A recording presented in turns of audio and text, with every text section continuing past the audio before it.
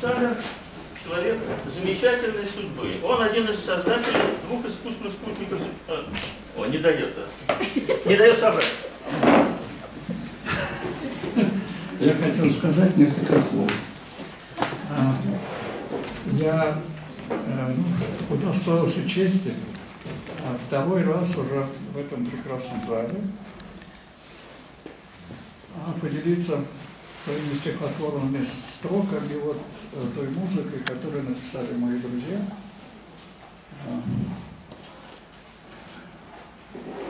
Леша Рыбаков, чтобы не перепутать, как их зовут, и Володя. Вот. Я счастлив, что они все-таки удостоили меня ну, такой чести вроде бы. Мои такие строки не особенно профессиональные. И вот они нашли возможность их каким-то образом озвучить. Вот. Ну, за что моя благодарность. А вместе с вами я буду слушать их первый раз, кстати.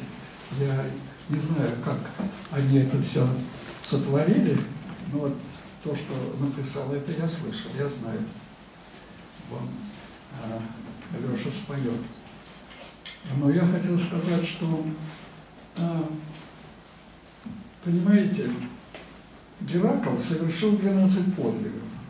Геракл, как мы знаем по греческой истории.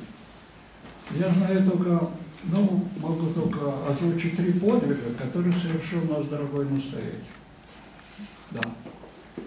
Ну, понимаете, а, первый подвиг, который совершил отец Александр, это воссоздание храма, обустройство его. Вот этот зал, где мы присутствуем, это же такое событие. Второй подвиг – 20 лет служения в этом храме. Достаточно простое, сложное. Священники наши выдающиеся – вот тоже надо им руководить весь клиром, и мы его так любим. И третий подвиг а, – создание этого дома прихода.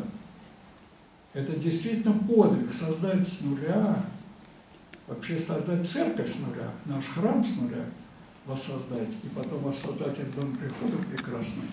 Я считаю, что это великий подвиг, потому что столько преодолено препятствий, для того, чтобы в центре Москвы возвести это прекрасное здание, это дорого стоит. Поэтому я считаю, что наш дорогой отец Александр заслуживает всяческого, всяческой любви, читания, и я его люблю всем своим сердцем, всей душой. Можно и Нет, Александр Александрович,